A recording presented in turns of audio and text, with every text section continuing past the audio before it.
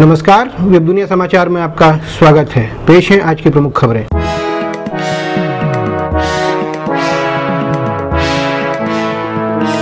पाकिस्तान ने किया संघर्ष विराम का उल्लंघन, गोलीबारी में दो भारतीयों की मौत।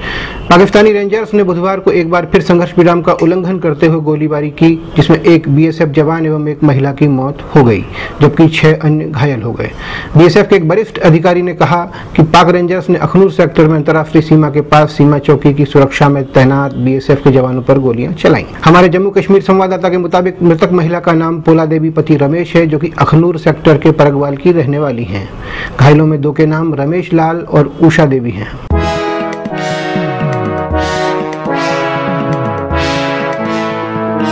शहीद हेमराज की पत्नी ने मांगा आतंकवादी अनवर का सिर।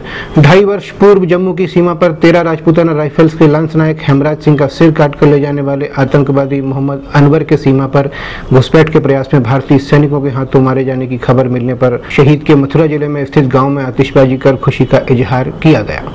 शहीद हेमराज की विधवा धर्मवती ने उस आतंकी का सिर भारत लाए जाने की मांग सरकार से की है। उन्होंने कहा कि जिस प्रकार पाकिस्तानी सैनिकों की सहायता से अंदर उनके पति का सिर काट कर ले गया था, उसी प्रकार उसका भी सिर काट कर भारत लाया जाए।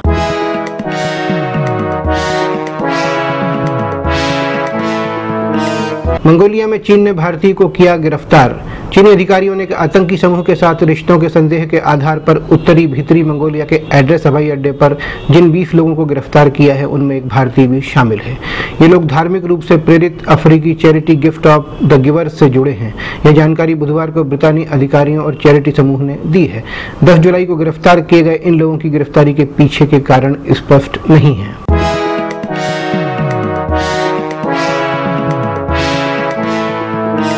यूनान को 2018 तक पिचासी अरब यूरो की ज़रूरत। अंतर्राष्ट्रीय मुद्रा कोष ने कहा कि यूनान को ऋण राहत के अलावा 2018 तक पिचासी अरब यूरो के नए ऋण की ज़रूरत होगी, क्योंकि 29 जून को बैंक बंद करने के बाद से इसकी स्थिति और बिगड़ गई है।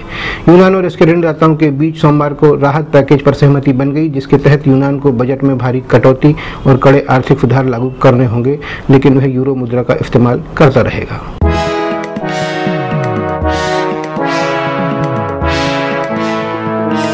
अब नहीं होगी champions league T twenty champions league 2020 की गवर्निंग काउंसिल ने इस प्रतियोगिता को तत्काल प्रभाव से बंद करने का फैसला किया है। गौरतलब है कि चैंपियंस लीग टी ट्वेंटी हर वर्ष पूरी दुनिया के शीर्ष घरेलू क्लबों के बीच आयोजित होने वाला टूर्नामेंट है।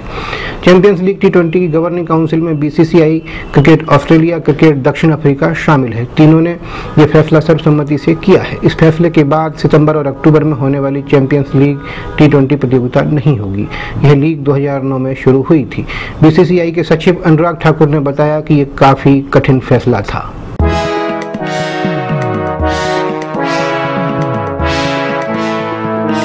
ये थे अब तक के मुख्य समाचार। और ज़्यादा जानकारी के लिए लॉगिन कीजिए हमारी वेबसाइट डब्ल्यू नमस्कार।